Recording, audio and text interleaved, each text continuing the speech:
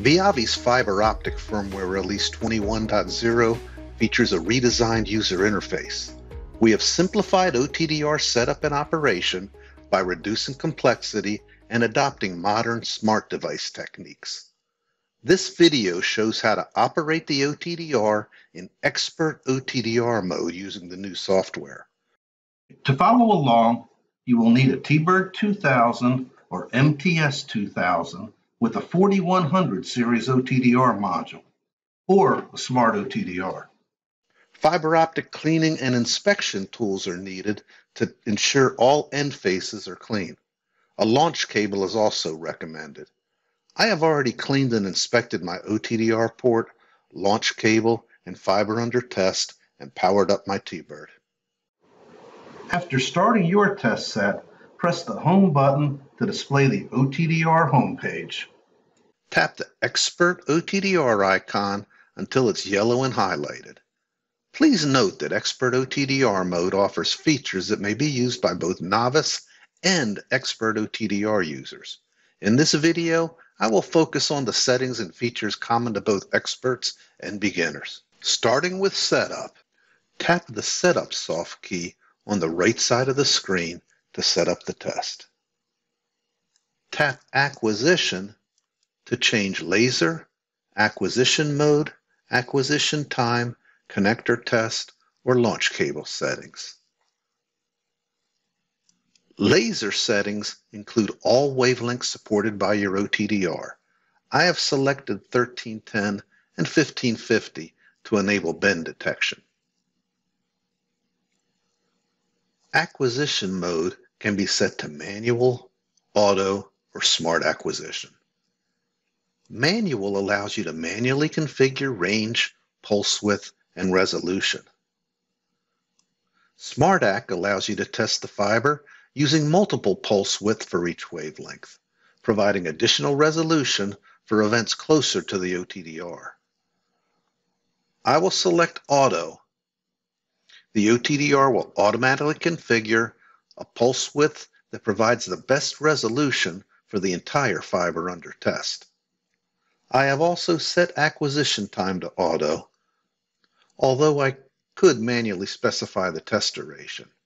I have set connector test to yes and continue so that the OTDR will warn me if I have a bad connection at the OTDR port. I am using a 20 meter launch cable, which will show up as the first connector in my trace, so I will set launch cable to event 1.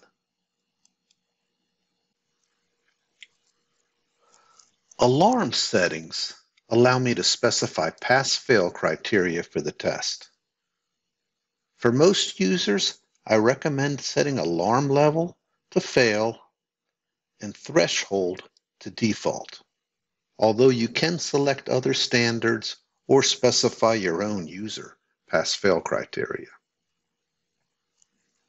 Display settings include the distance unit that will be used in the results display.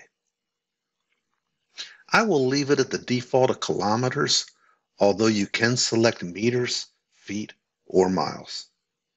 File settings allow me to specify my file naming conventions, the type of files I wish to save, as well as auto store settings.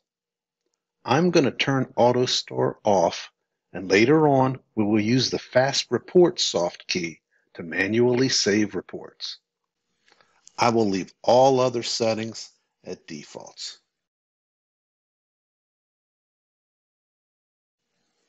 I'm now ready to test. The Start Soft key in the top right corner of the screen will start the test. After auto configuration, the OTDR will perform a connection check to ensure the connection to the OTDR is good. After the connection check, the OTDR will perform acquisitions at each selected wavelength.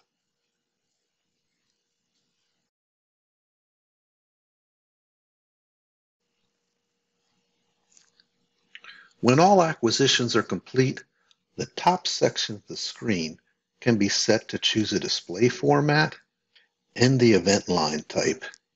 When trace is selected, I recommend the Info view so that you can view the mini-map and the pulse width used for this acquisition. Graphical results for each acquisition are shown in different colors in the center display. Tap the numbers to select the wavelength and pulse width for display. Distance, loss, and reflectance for the first event is shown in the lower display. Swipe up or down to see additional events you can tap the magnifying glass icons to zoom in, zoom out, or auto zoom.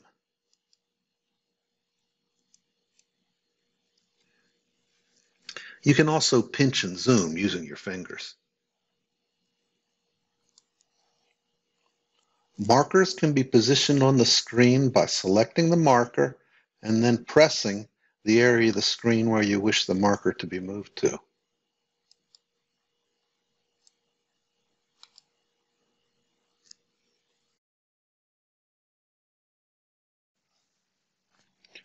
SmartLink offers a simpler icon-based view of the fiber under test. When SmartLink is selected, I recommend the event line view, which shows all events on the fiber under test. If there are more than four events, swipe left and right on the main display to select the icons to view. In the center display, you can view summary results for each acquisition. Events are marked with a green check or red X based on pass fail settings. You can tap on any event to view detailed results for that event. The third display option is Table View. In Table View, distance, loss, and reflectance are shown for each event. Values that violate loss or reflectance pass fail thresholds are shown in red. You can tap the toggle switch to display all events or just failed events. If you wish to save a report, the first step is to specify the directory. Tap the File soft key and either create a directory or select the directory into which you want to save your results.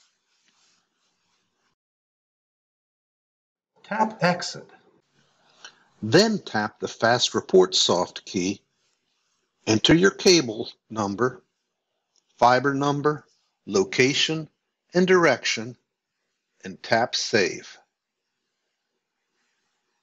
Tap the check mark to accept the default file name and save the test results. Tap Fast Report again to return to the results display from which you can test your next fiber.